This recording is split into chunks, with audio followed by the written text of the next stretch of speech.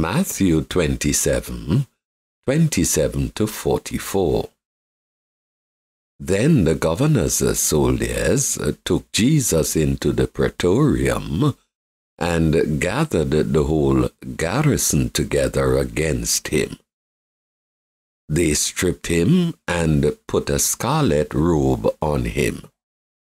They braided a crown of thorns and put it on his head, and a reed in his right hand and they kneeled down before him and mocked him, saying, Hail, King of the Jews! They spit on him and took the reed and struck him on the head. When they had mocked him, they took the robe off of him and put his clothes on him and led him away to crucify him. As they came out, they found a man of Cyrene, Simon by name, and they compelled him to go with them, that he might carry his cross. They came to a place called Golgotha, that is to say, the place of a skull. They gave him sour wine to drink mixed with gall. When he had tasted it, he would not drink. When they had crucified him, they divided his clothing among them, casting lots, and they sat and watched him there. They set up over his head the accusation against him written this is Jesus, the King of the Jews. Then there were two robbers crucified with him, one on his right hand and one on the left. Those who passed by blasphemed him, wagging their heads and saying, You who destroy the temple and build it in three days. Save yourself. If you are the Son of God, come down from the cross. Likewise, the chief priests also mocking, with the scribes, the Pharisees, and the elders said, He saved others, but he can't save himself. If he is the King of Israel, let him come down from the cross now, and we will believe in him. He trusts in God. Let God deliver him now, if he wants him. For he said, I am the Son of God. The robbers also, who were crucified with him, cast on him the same reproach. These verses describe the sufferings of our Lord Jesus Christ after his condemnation by Pilate, his sufferings in the hands of the brutal Roman soldiers, and his final sufferings on the cross. They form a marvelous record. They are marvelous when we remember who the sufferer is the eternal Son of God. They are marvelous when we remember the people for whom these sufferings were endured. We and our sins were the cause of all this sorrow. He died for our sins. 1 Corinthians 15 3. Let us observe in the first place the extent and reality of our Lord's sufferings. The catalogue of all the pains endured by our Lord's body is indeed a fearful one. Seldom has such suffering been inflicted on one body in the last few hours of a life. The most savage tribes, in their refinement of cruelty, could not have heaped more agonizing tortures on an enemy than were accumulated on the flesh and bones of our beloved Master. Never let it be forgotten that he had a real human body, a body exactly like our own, just as sensitive, just as vulnerable, just as capable of feeling intense pain. And then let us see what that body endured. Our Lord, we must remember, had already passed a night without sleep and endured excessive fatigue. He had been taken from Gethsemane to the Jewish council and from the council to Pilate's judgment hall. He had been twice placed on his trial and twice unjustly condemned. He had been already scourged and beaten cruelly with rods. And now, after all this suffering, he was delivered up to the Roman soldiers, a body of men, no doubt, expert in cruelty, and of all people, least likely to behave with delicacy or compassion. Then harsh men at once proceeded to work their will. They gathered together the whole band. They stripped our Lord of his clothing and put on him in mockery a scarlet robe. They plaited a crown of sharp thorns, and in derision placed it on his head. They then bowed the knee before him in mockery, as nothing better than a pretended king. They spit upon him, they smote him on the head, and finally, having put his own robe on him, they led him out of the city to a place called Golgotha, and they crucified him between two thieves. But what was a crucifixion? Let us try to realize it and understand its misery.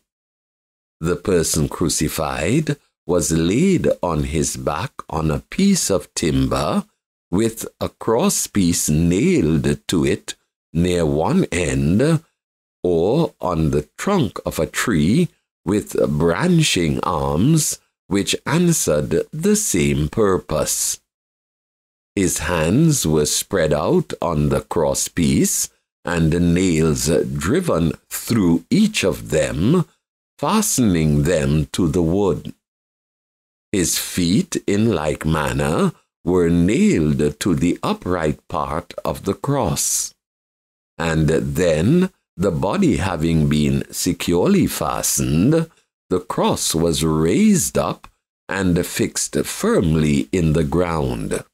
And there hung the unhappy sufferer until pain and exhaustion brought him to his end not dying suddenly, for no vital part of him was injured, but enduring the most excruciating agony from his hands and feet, and unable to move.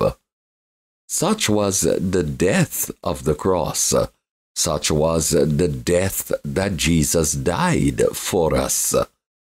For six long hours, he hung there before a gazing crowd, naked and bleeding from head to foot.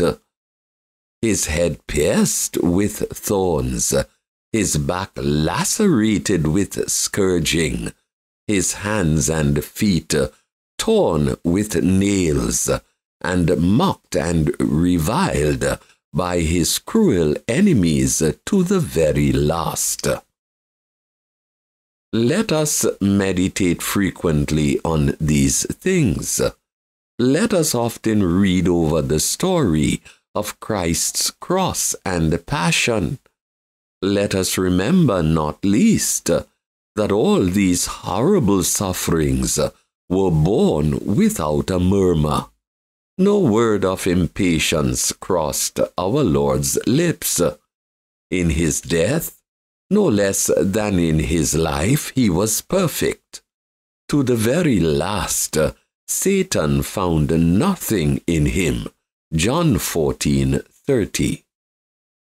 Let us observe in the second place that all our Lord Jesus Christ's sufferings were vicarious. He suffered not for his own sins, but for ours. He was eminently our substitute in all his passion.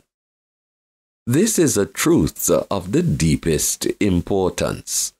Without it, the story of our Lord's sufferings with all its minute details, must always seem mysterious and inexplicable. It is a truth, however, of which the scriptures speak frequently, and that too with no uncertain sound. We are told that Christ bore our sins in his own body on the tree that he suffered for sin, the just for the unjust, that he was made sin for us who knew no sin, that we might be made the righteousness of God in him, that he was made a curse for us, that he was offered to bear the sins of many. That he was wounded for our transgressions and bruised for our iniquities, and that the Lord has laid on him the iniquity of us all. 1 Peter 2.22 and 3.18, 2 Corinthians 5.21, Galatians 3.13, Hebrews 9.28, Isaiah 53 5 and 6. May we all remember these texts well. They are among the foundation stones of the gospel. But we must not be content with a vague general belief that Christ's sufferings on the cross were vicarious. We are intended to see this truth in every part of his passion. We may follow him all through, from the bar of Pilate to the minute of his death, and see him at every step as our mighty substitute, our representative, our head, our surety, our proxy, the divine friend who undertook to stand in our stead, and by the priceless merit of his sufferings to purchase our redemption. Was he scourged? It was that through his stripes we might be healed. Was he condemned, though innocent? It was that we might be acquitted though guilty. Did he wear a crown of thorns? It was uh, that we might wear a crown of glory. Was he stripped of his clothing? It was uh, that we might be clothed in everlasting righteousness.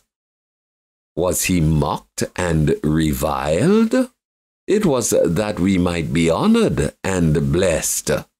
Was he reckoned a malefactor and numbered among transgressors? It was that we might be reckoned innocent and justified from all sin. Was he declared unable to save himself? It was that he might be able to save others to the uttermost. Did he die at last? And that the most painful and disgraceful of deaths? It was that we might live forevermore and be exalted to the highest glory. Let us ponder these things well. They are worth remembering. The very key to peace is a right apprehension of the vicarious sufferings of Christ. Let us leave the story of our Lord's Passion with feelings of deep thankfulness. Our sins are many and great, but a great atonement has been made for them. There was an infinite merit in all Christ's sufferings. They were the sufferings of one who was God as well as man. Surely it is fit, right, and our bounden duty to praise God daily because Christ has died. Last but not least, let us ever learn from the story of the Passion to hate sin with a great hatred. Sin was the cause of all our Saviour's suffering. Our sins plaited the crown of thorns. Our sins drove the nails into his hands and feet. On account of our sins, his blood was shed. Surely, the thought of Christ crucified should make us loathe all sin. Well says the homily of the Passion. Let this image of Christ crucified be always printed in our hearts. Let it stir us up to the hatred of sin and provoke our minds to the earnest love of Almighty God.